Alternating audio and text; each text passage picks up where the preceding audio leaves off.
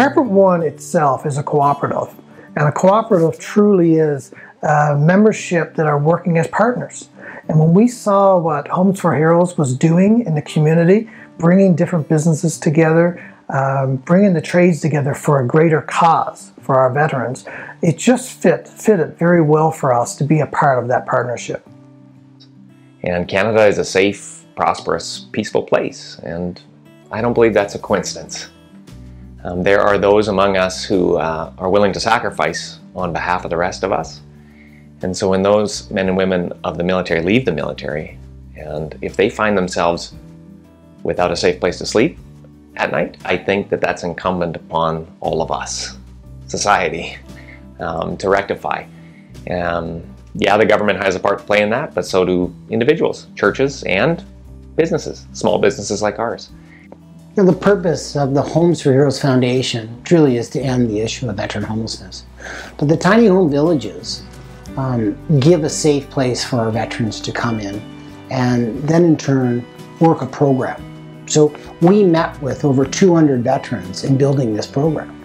They advised us that they wanted to come into a program, not just housing, get back on their feet, work on the issues that got them on the street in the first place.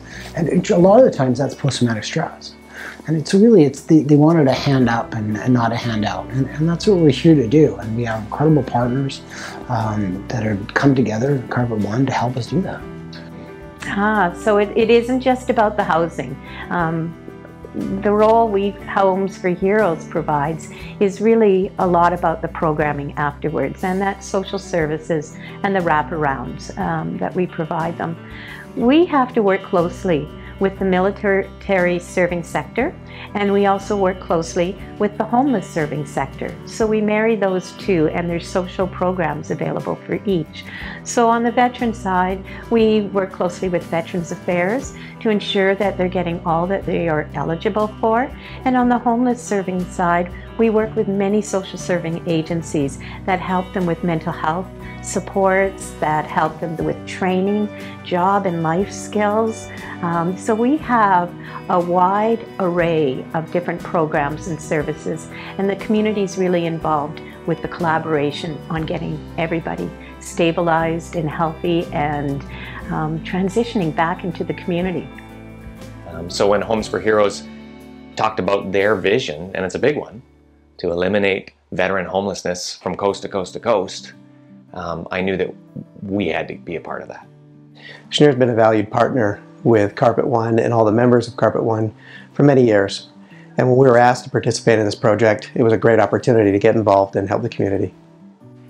The, the finished product is exceptional. Uh, when I walk through this tiny village and I see these tiny homes and I see the quality, the quality of the finished product and the work that's been put into it, the dignity, you know, that goes with that quality. We are not just putting up a home. Homes for Heroes Foundation is not just putting up a shelter with four walls and a roof. They're actually building a community and they're building a quality community which shows and extends dignity to those that are going to be receiving services from this place. I think a lot of them come in and they're surprised at the amenities that are available for them. They come in and they see a full suite of what is typically in a larger house, but in a condensed space. I had one gentleman come in and he came with a green garbage bag of clothes and all his belongings when he moved in. And he told me it had been two years since he hung up his clothes. So for that, for him, it's the little things that they appreciate. They see the food in their cupboards. They don't have to go hungry. So watching it through their eyes, it is uh, a real joy to know that we're doing some really good work for these gentlemen. So the, idea here with the tiny homes, they have the full comforts of a traditional home, absolutely amazing inside. You know, they have the bedroom, they have workspace, they have the kitchen countertops, television, place to relax, and so forth. Um, but it is built in this barracks format, all inward facing.